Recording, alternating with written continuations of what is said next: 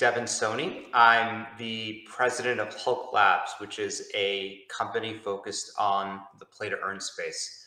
Uh, you know, today I want to talk about a few things. Uh, one, you know, just maybe covering my background, how uh, got into play to earn and blockchain. Uh, that that will be very short. Uh, you know, kind of jumping into a little bit of what Hulk Labs does, and and finally, really just some some lessons we've learned from you know the past year or so, really diving into the data of uh, of, of P2E GameFi blockchain gaming. Um, you know, as a start, I like probably like a lot of folks uh, listening in, spent a lot of my childhood, my, so my most formative memories are you know playing video games, but but even early in my career, uh, my my first job in college was actually working at an investment bank. Um, helping uh, you know companies like Ubisoft and things like that do M and A, buy buy, trans- buy companies. Um, eventually, spent a lot of my time in investment banking um, was, you know, in the early days, um, part of an investment called Lazard, which worked with Electronic Arts and worked with Microsoft on, on sort of their Xbox, you know, kind of launch and some of their acquisitions. So really early in the, in the gaming space from that perspective. Um, eventually joined Goldman Sachs, where I was a part of their investment group, making you know strategic investments into lots of companies in the technology space. And even there, uh, we were one of the earliest investors in a company called Linden Labs, which built Second Life, um, which was you know sort of probably one of the first original metaverses out there. Um, you know, had had their their virtual currency Linden Bucks, had the first probably digital currency millionaire who was you know flipping real estate in, in Linden Labs. So it's a really you know this was back in 2006 2007, which which kind of dates me, but. Um, you know, it's a really exciting space that I've kind of been, you know, watching and, and participating in for the last, you know, 10 or 15 years. Um, to give you a little background on, you know, kind of Hulk um, Hulk is a, you know, more than anything else, a subsidiary of a company called Tokens.com. Tokens.com is a publicly traded company um, in the blockchain space that really um, aims to provide access for, you know, kind of public market investors into all interesting aspects of kind of blockchain and crypto. So you, even for me, who's been kind of in blockchain for the last 10 years or so, you know, buying, you know, NFTs, managing and delegating them it's, not super easy. You know, you have the wallet dash issues. You've always got the MetaMask updates, right? So it's just not fun. Um, and for someone who doesn't spend all day in it, it's really not fun. And you know, part of the reason we launched tokens.com was to provide a, you know a public currency, so you, you can go to your you know Robinhood account or E Trade account and actually buy shares in our company um, that have has several investments in the blockchain space. So you know the three areas that tokens.com works on is one we own a lot of assets that are kind of proof of stake. So things like Ethereum, Solana, Polkadot, and we run, you know, kind of managed validator nodes to stake these companies uh, to give people, you know, kind of access to yield, the, you know, the upside of the tokens, which I think are, you know, kind of the backbones of a lot of what's happening in play to earn and and DeFi and a lot of other parts of crypto. Um, the second division we, uh, um, you know, uh, we have is a company called the Metaverse Group, where you know we're one of the larger owners of you know kind of property in places like the Central Decentraland and Sandbox. Um, but not only that, we develop on those properties and partner with companies like you know Forever 21, you know some large other providers, and we help them kind of actually manage their presence in, in, the, in the metaverse, which we think is going to be a, a, growing part of what we do. Um, the third division, which which I kind of run, is called Hulk Labs, and um, you know a lot of what we do is um, you know really just kind of participate in the metaverse. Um, you know, the one thing that I have kind of fallen in love with, with you know, kind of crypto and blockchain in general, is being, you know, this kind of strange to say, but a bit of a value investor in the space. And, and for me, the really great thing about you know crypto and DeFi and, and even P2E is kind of this aspect of kind of that you've all probably heard, which are money Legos, which are you can kind of create, you know, building blocks and financial instruments um, that provide, you know, unique access to various areas. And, and for me, uh, having lived in, you know, kind of gaming for so long, it's a really unique um, way to participate in the overall economy. Um, and, and, you know, you've, you've probably seen a lot of these data and slides before, but just to kind of give you where our thesis started, you know, about six or eight, six or eight months ago, is um, you know Web three is really obviously saying I'm merging you know my identity with uh, my wallet so that when I do things, um, I can kind of be rewarded for those things. Um, you know, NFTs, which are a, a big part of Web3, um, you really enable people's wallets to kind of own things, right? And today, owning virtual art, um, you know, think are, are a big part of it. But obviously, over time, I think that's going to shift to you know real physical assets that have utility. And I think when we look at um, you know kind of gaming, which is something that you know hundreds of millions of people do already daily without any kind of financial component or ownership component, um, we have you know uh, you know the first you know true physical asset or first true real asset that people can monetize um, you know kind of globally using their own identity time in, in, a way that there's no barriers, right? So um, you know, I heard a really neat thing about Bitcoin early in early days, which was, you know, when Bitcoin was really focused on mining, you know, Bitcoin was a way for people to transfer energy from areas that had a really low cost of energy to a place that has a really high cost of energy. So you can take, you can mine um, Bitcoin in, you know, somewhere with a lot of hydro or cheap solar power uh, and use that excess capacity to really create value. And I think, um, you know, play to earn is for, for me, and what's most exciting about it is it's a place where you can kind of take this value that people care about in the, in, you know, sort of the Western world in the States where I live and, you know, provide a, a really direct link to that value from places that may have lower incomes, lower opportunities. Um, and, and, that's kind of one of the things the first thing that's excited about us is opening up the possibility for, you know, millions and billions of people to, you know, provide value to places uh, that they may not be able to do otherwise. Um, and, and, you know, some of the stats that kind of even today show me how early and crazy early we are in this space is, you know, I think developers are onto something. There's, you know, 1500 plus games that have launched, most of them in the last, you know, six, eight months. Um, you know, billions of dollars of venture capital have flowed into these games, and these assets and infrastructure. And despite all of that, you know, and despite the fact that, as you can see kind of here, there's, uh, you know, 700 million people uh, on the planet that earn less than a dollar a day in, in their normal lives. There's only you know 1.2 million active web wallets that, that have um, you know kind of play to earn assets. So this just shows me there's a massive gap between, and it's a massive information gap between um, you know I'm going to put air quotes and say smart money or people that are deploying capital and people that that are seeing you know opportunities to actually earn an income. And I think that's going to you know hopefully um, we see this just massive explosion, uh, which I think we're starting to see the, you know, kind of the early days of. Um, and, and, you know, I think Hulk more than anything else is trying trying to build a, a bridge between these economies and say, you know, there's developers who are building great games but need players because heck, there's only a million players out there. Um, there's players that need awareness of the opportunities that exist, um, as well as often access to capital to to participate in these economies. And then there's investors who, you know, are like I'm an investor. I'm, I'm frankly lazy, right? I just want to earn money without doing anything, right? So uh, the, the more I can do there, which is you know delegate my assets, uh, you know, cut a check and, and, and, earn income like that, the better for me. So, and I think there's a lot, lots of people like me out there. So, what we're really trying to do is kind of build the infrastructure between all of these areas. Um, and you know, maybe more specifically to cover, you know, kind of what we do. Um, and I'll start sharing my screen here to really um, go into you know some of the metrics. Just give me a moment. All right. So you know, really, what we do uh, at the Hulk side is is one really really dive into the data. The, the most amazing thing that that you know I found about blockchain gaming is every transaction, every play, every user is on the blockchain waiting to be analyzed. In the same way that people have dived into analyzing everything from, you know, kind of stocks to, you know, inflows and outflows of, of you know, exchange transactions, you can do the same thing to make great decisions on, on gameplay. This just makes you a tremendously better gamer. So instead of, you know, trial and error, you can actually see what, you know, hundreds and thousands of players and millions of plays have done over time and um, make decisions. Um, we share a lot of this data uh, directly on our website at hulklabs.com. That's earning calculator. You can see the link here. But um, what we do is try to make good decisions on finding great games and the best strategies in those games to generate value. Uh, the second thing we do is build tooling and software. Anyone that's actually, you know, tried to play these games, tried to loan, you know, assets, whether it's to a cousin or to a guild, um, just realize how difficult it is, how manual it is. Um, and it, that makes sense, right? It's still early days. People focus on gameplay. People are still kind of getting their bearings. Um, and but you know what we're trying to do is kind of move forward on things like wallet creation, wallet tracking, earnings tracking, so we can actually understand um, how well our team is doing, how well our players are doing, um, and and how to make better decisions. Um, third, we actually are focused on you know building global player networks.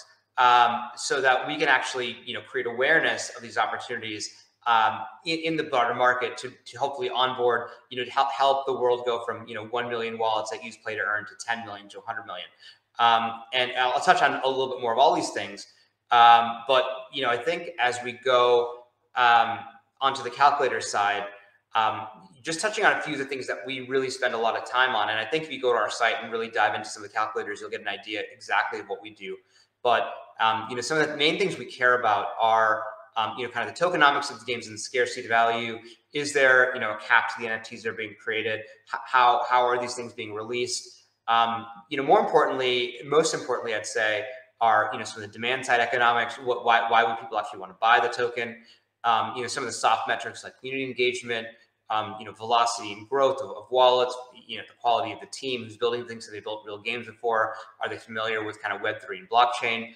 Um, and you know, even just things like accessibility, like how many devices, how many people in the world can actually play this game? Is it, do you need a, you know, a 2022, um, you know, powerful kind of MacBook Pro to run this game, or can you build it, you know, can you play it on a, a 2013, you know, Android phone? So, um, where, which most of the world are kind of using. So like, these are all kind of things we care about. These are all variables we, we spend a lot of time in, um, you know, as we kind of build things out. Um, on the global player network side, you know, a lot of what we're doing is like, you know, I think everyone knows about places like the Philippines and Venezuela and Indonesia. Those were places that had, you know, almost immediate adoption play to earn, uh, immediate meeting, you know, sort of late, late last year, early this year. Um, and, and that's kind of really been the place where a lot of that activity has happened.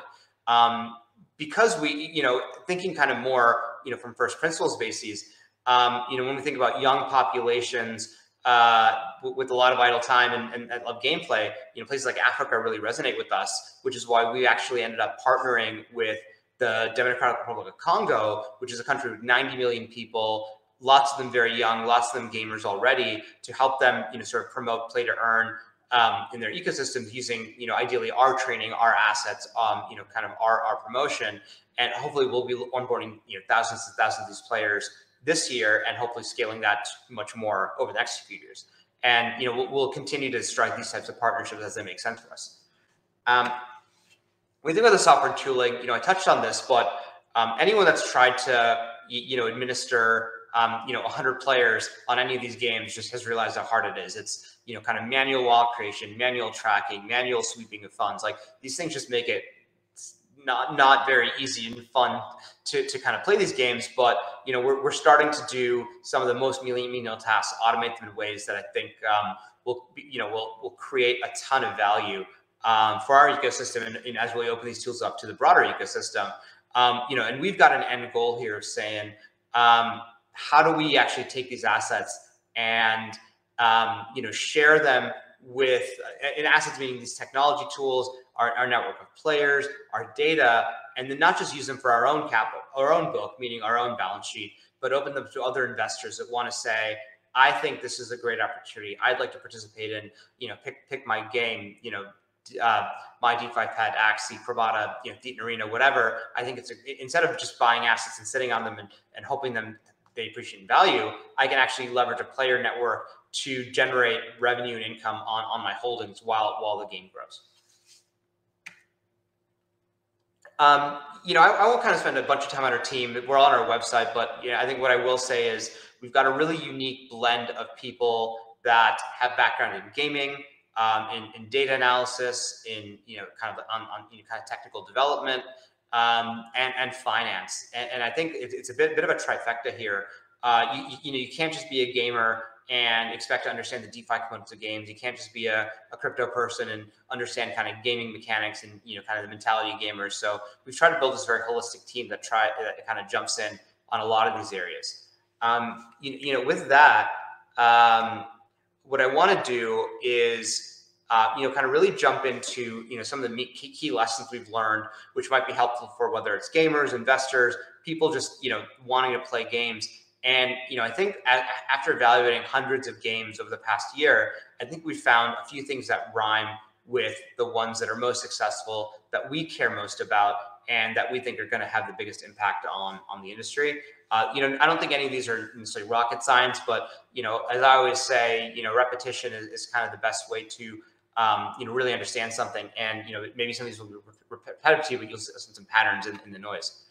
Um, you, you know, no, number one is, um, I, I think if you, if you build a game that is focused on people that are trying to earn money, you're going to kind of get people that try to earn the most amount of money in the shortest amount of time possible and then you know kind of leave immediately for something that that pays you know a, a nickel or two more whereas um, if you focus on games that are fun that people want to play, um, you're going to get people playing the games, wh- whether they, they make you the highest, you know, ROI or not.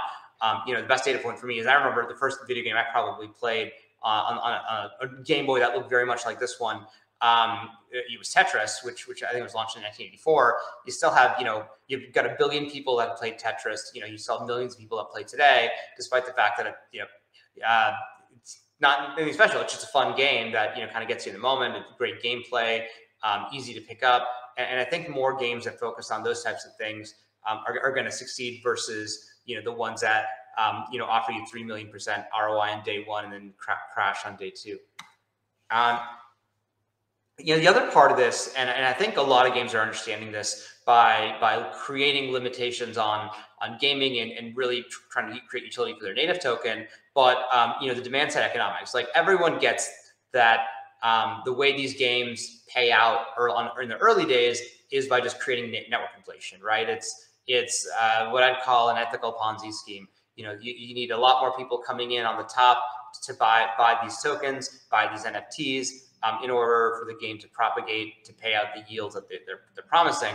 And you know, the holy grail at some point that that switches and there's utility that's coming out and people are actually um, you know generating value. People want the tokens not because they want to make money but or not because they would need to enter the game because they're new but because they want to actually unlock things that they care about. And you know i think when you think about non-pde games like you know fortnite and world of warcraft they've unlocked a lot of these things organically and it wasn't easy and it took a lot of time and a lot of iteration and a lot of mistakes along the way.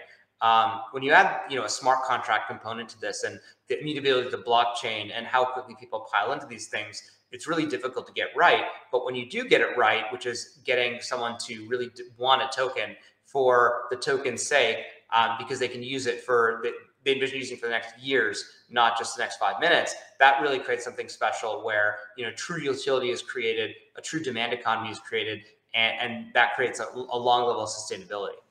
Um, you know, this one is always frustrating to me because like if you're if you're a gamer uh, and, you're a, you know the, the, most disheartening thing is to say this game's awesome, but I can't play it until I spend a, you know thousand dollars on a new device or upgrade. And you know this this this rings true for people who live in the Western world need to buy the newest graphics card, but this is even more valid for you know the, the millions of people um, that want to enter into play to earn gaming who you know might not have the highest incomes and you know for them a, a phone is you know a three or four month uh, or six month investment um, and you know all of their income so um, you know y- yes I, I love you know 3d graphics as much as the next person i've got a you know playstation behind me uh, ps5 rather but like um, instead of focusing on you know the, the, greatest graphics, the greatest gameplay, and even what I call it, you know, low latency, I just spoke. You know, I, I, think the games that have the most possibility to succeed over the next you know period of time are going to be ones that really are able to tap into people that have you know Android, you know, and Android four.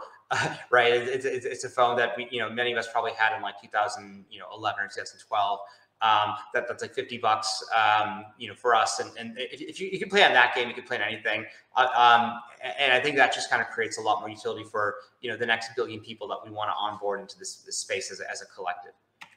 Um, I, you know, we see a lot of, you know, you, you look at the fact that I mentioned earlier, there's 1500 games plus games out there, probably another 10,000 in development. Um, you know, a lot of them, you know, kind of rhyme, right? A lot of them are, are card, you know, turn-based card games like Axie or, um, you know, sort of battle royale style games. But, you know, I think what we're discovering is the best opportunity here is not going to be to say like, yes, sure, you can, you can play the lotto and say, I'm going to go build the next Axie and, and try to build the, beat the next 500 games. But there's a lot of niches out there from, you know, desktop tower defense to, to strategy to, you know, kind of board game style games to, uh, you know, just kind of puzzles and and the more um, and some people just like certain kinds of games, right? Like some people like Candy Crush, and some people like Street Fighter, and, and some people like Fortnite. um, and tapping into that existing demand of building the great game in that niche um, is is going to be you know a lot more useful for the overall economy than saying I'm just kind of pile onto the 70 you know three you know the 73rd game that launched this week in in, in MLBA or whatever. So like for us, like finding these niches um, and, and, leveraging them, I think can make a lot of sense. Um, and you know, with that, uh, I, I, thought I would you know share some little off at the end, which is you know what are the things that we're really looking at playing actively today with our you know hundreds of players, and where do we want to scale? Um, you, you, can kind of see these. You can see the calculators and ROIs on our site.